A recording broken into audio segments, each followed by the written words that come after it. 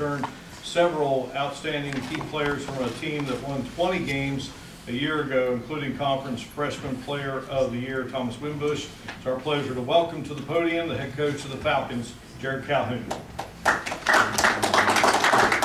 Thank you, happy to be here. Um, Our season didn't end the way uh, we had liked, so I think our kids have had a lot of motivation in the offseason. Um, We've got six guys coming back. We're excited about that. It's taken us a couple years uh, to build this thing. But I've got my three seniors in the back.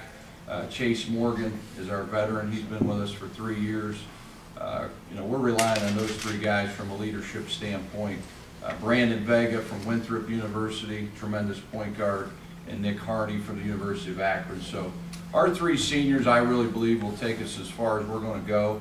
Uh, Thomas is an exceptional talent. Uh, We have Jamel Morris uh, from Glenville State transfer, is going to be really, really good player for us. Uh, Has really done a great job in the weight room. So uh, I think anytime your season doesn't end the way you want it to be and you feel you know, you, you got slighted a little bit or didn't make the NCAA tournament for whatever reason. You know, everybody's talked about how great our conference is.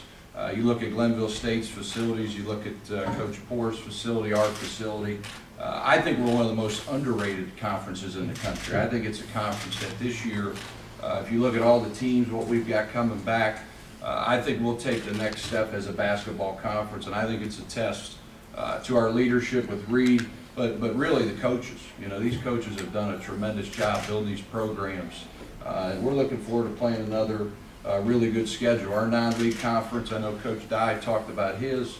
We've studied it. Uh, I think Glenville's is right up there at the top. We feel that we've done a really good job of scheduling non-conference games as well. So uh, we're ready to go.